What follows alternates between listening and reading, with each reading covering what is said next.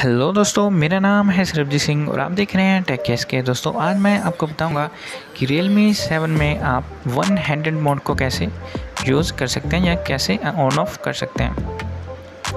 तो चलिए, बिना किसी के वीडियो शुरू करते हैं। इसके लिए हमें सबसे पहले सेटिंग्स में चले आना।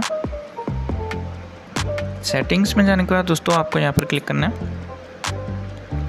कन्वीनियंस टूल्स यहाँ पर हम क्लिक करेंगे। और यहाँ पर आप देख सकते हैं नेविगेशन बटन्स यहाँ पर क्लिक करेंगे।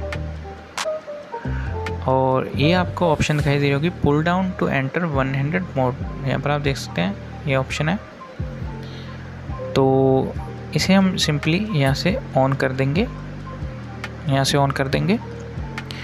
और जैसे हम इसे ऑन करेंगे तो हमें ऑन सॉरी इसे यूज़ करने के लिए हमें ये जो बटन होता है दोस्तों, ये ये जो लेफ़्ट साइड वाला, बिल्कुल जो सबसे लेफ़्ट साइड वाला बटन है, जैसे एक तो बैक बटन बैक करने के लिए बटन होता है, बीच वाला बटन होता है, एक साइड वाला।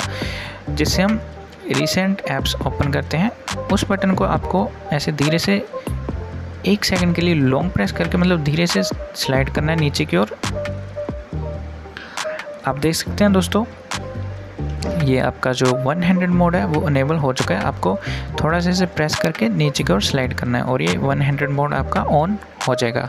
इसे ऑफ़ करने के लिए आपको ये जो है एरोस इस पर क्लिक कर देना है और ये आपका स्क्रीन दोबारा से नॉर्मल हो जाएगी, जैसे कि पहले थी। दोस्तों वन हैंड्रेड मोड का फ़ायदा ये होता है कि अगर आप एक हाथ से फ़ोन यूज़ करना चाहें तो आप अपने ऐसे वन हैंड्रेड मोड को ऑन करके छोटी स्क्रीन बन जाएगी।